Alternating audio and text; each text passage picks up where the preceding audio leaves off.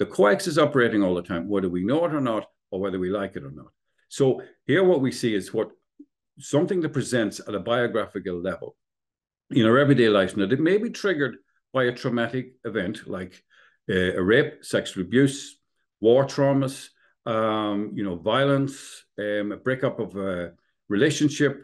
You know, it triggers something within the unconscious that's buried there and has been frozen, as Ivor Browne would have said, in the psyche, and it comes to the surface.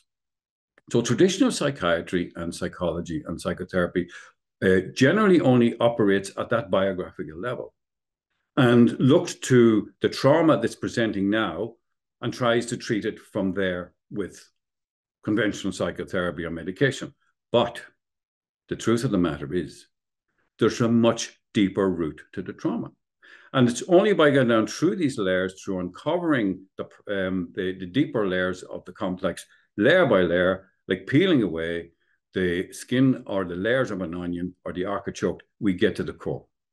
And once we get to the core aspect of the coex and we have a full catharsis there, we then release the energy that moves through the psyche into the ego position, releases the depression, releases the uh, mental health issues, and also, quite amazingly, as I've discovered and others have also come across the idea that um, from the personal to the transpersonal, our everyday lives change. Synchronicities come in to match the resonant frequency that we've just um, changed within our psyche, because that's what happens.